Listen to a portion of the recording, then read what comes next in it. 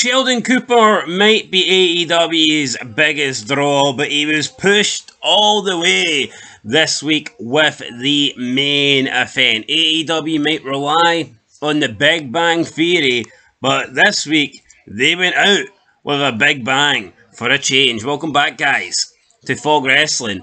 And the AEW Dynamite quarter numbers are in, and they actually held pretty well this week. We never see this with Dynamite. Normally, they start off as strong as they possibly can, and then they lose, lose, lose. And by the end of the show, I mean, the gap between quarter one and the final quarter can sometimes be, you know, maybe three, four hundred thousand. We've seen it sometimes more than that down.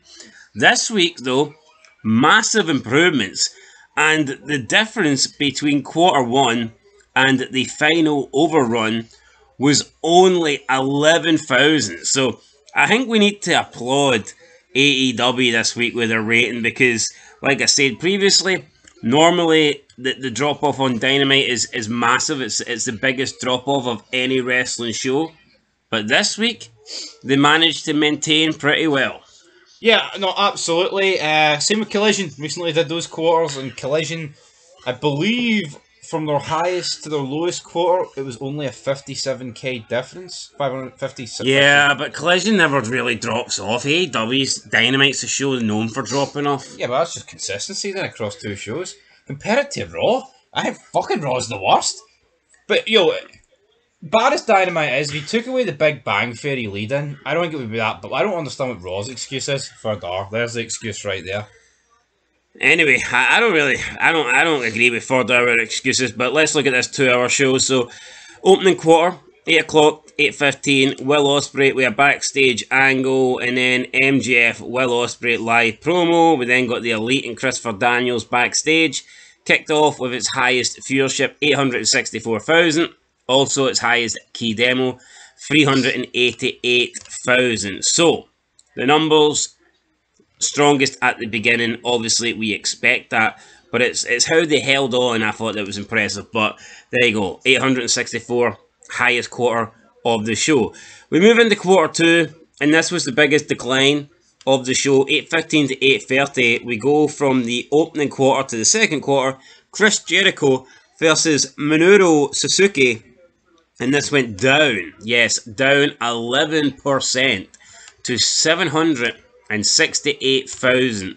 96,000 lost in viewership. And in the key demo, it also went down 14%. And it was by far the biggest loss in both viewership and key demo. Whether you judge it by the amount of views lost or whether you judge it by the percentage of views lost. No matter what way you look at it here, Chris Jericho was certainly not the demo god in this quarter. Thanks, guys. I broke my finger, guys. Suzuki broke it, guys. As for the finger break, uh, I mean, at least he continued the match. We'll say that about him. Didn't do a Sin Cara. No, it was technically quarter three, but anyway, brother. Yeah, but Chris Jericho's a real wrestler, do you know what I mean? So. Ah, he's going to end it. He's going to finish it. Although he is a bit pathetic these days, so who knows if he'd quit the match, but... But this match was just two fucking old guys rolling about, man. One who was once great and one who I didn't know.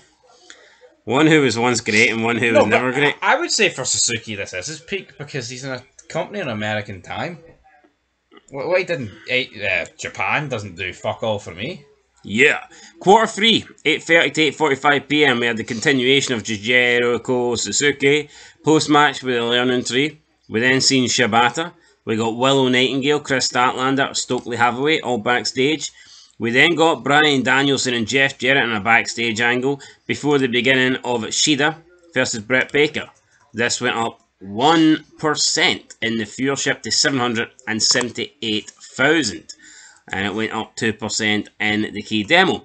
Moving into quarter 4, 8.45, 9pm, continuation of Hikaru Shida versus Britt Baker. We get the post-match with Mercedes Moné and Kamille. And then we get the Patriarchy and a Kip Sabian backstage angle. And this went down another 4% to 750,000. So we had Mercedes Moné in here. Didn't help the number. Didn't help the rating. I mean, if you had to give Mercedes Moné's AEW run so far a rating out of 10, I mean, what would you say? What would you say it is? The run's not impressed me. Um, the promos, apart from one with Britt Breaker, I thought was alright. I, I think for the most part, man, it's been very lackluster. Came in, the promos were just anti WWE, very lost virtue signalling in there. I think some of the stuff Will Nightingale was alright. I mean, I'd probably give it like a five, five or six out of ten. A lot of room to improve, but I'm not going to lie and say it's been atrocious and it's a one out of ten. I was going to go three, but here, you had six, so fair enough. I said five. Uh, five or six, actually. Anyway, quarter five. You think it's been that bad? Explain. I think I think the matches have been alright. I think everything else has fucking sucked. I, I used to think I used to think Sasha Banks was decent on the mic, but I don't know. Well, some of the promos have been alright. Yeah, well, that's your opinion. Uh, quarter five, nine o'clock to nine fifteen. We get Pac versus Boulder. Who the fuck is Boulder?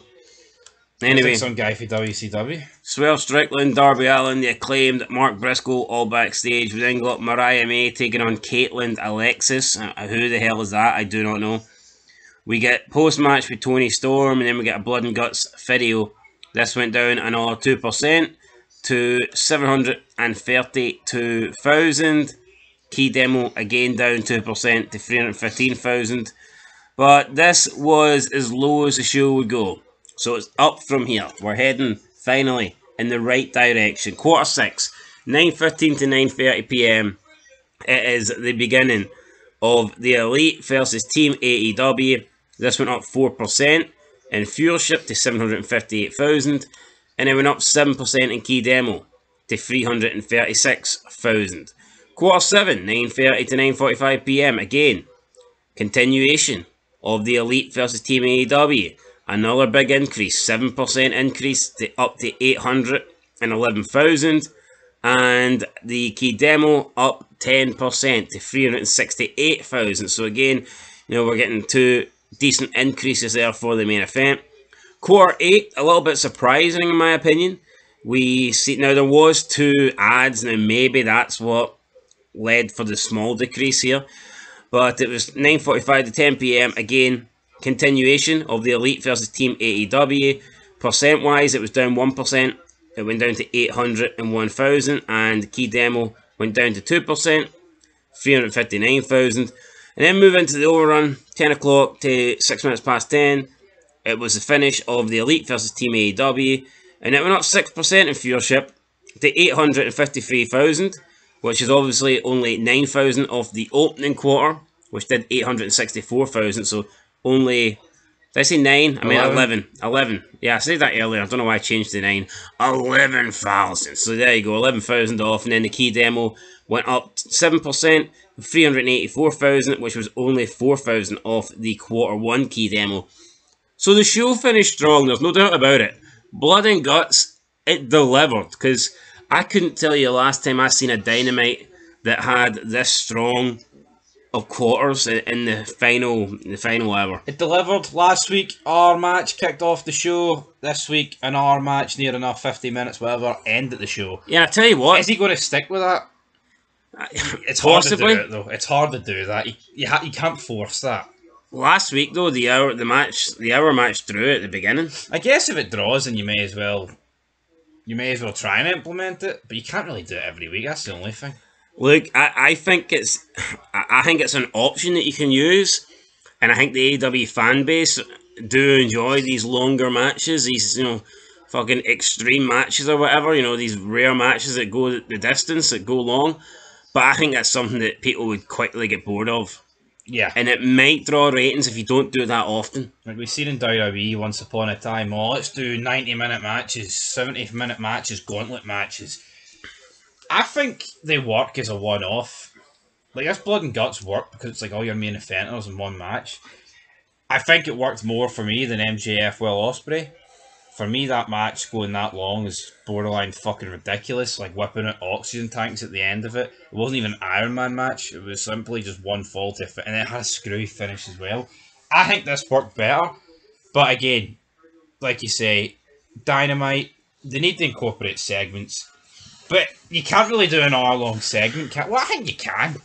Look at the Rock. The Rock was doing like forty minute segments. That's the Rock. What's, though. what's going to happen next week? Toni Storm versus Mariah May, a 58 minute match or something? Maybe. So yeah, Tony Khan back to back weeks. He's he's done near hour long matches and they've they've worked in the ratings. Can he continue to keep this up? Who knows? But it's definitely a step in the right direction. I'm sure Tony Khan's happy with this. But um, yeah, the, the big show now is obviously all in Wembley. That's the one he needs to build towards. And he's given a lot of big shit away. So I wonder what the big match at Wembley's going to be. Uh, well, Consider with with Team Elite, considering they've done this match here.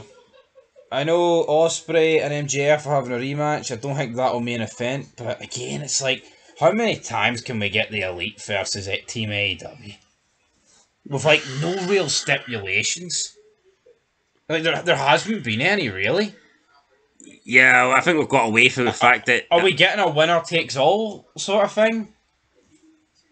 they dropped the ball. They dropped the ball with the whole beatdown on Tony Khan. Yeah, it went nowhere. It went nowhere, I mean, I think they realised, holy fuck, this guy can't act to save his life. You know, it looked like they were going to do something with it though. Tony Khan sporting the neck brace, and eh, but then just I think the last time we seen Tony Khan was when he was crawling down the ramp at that last pay per view before Jack Perry got set on fire. Yeah, and how embarrassing is that? They actually had something to work with, and then they've just thrown it underneath the carpet. For what reason? Eh, is it Tony Khan realizing, like, here, I, I love wrestling, I'm a sad mark, and I love taking these guys' moves, but it's not good for business? What's the real reason? What is the real reason? We don't know. Anyway, guys, that's it. There's your ratings there. Team E, Team AEW, they're late. Doesn't really do it for us, but I mean, it did it for, I guess, the AEW fans. So I catch you in the next one. Till then, though, peace.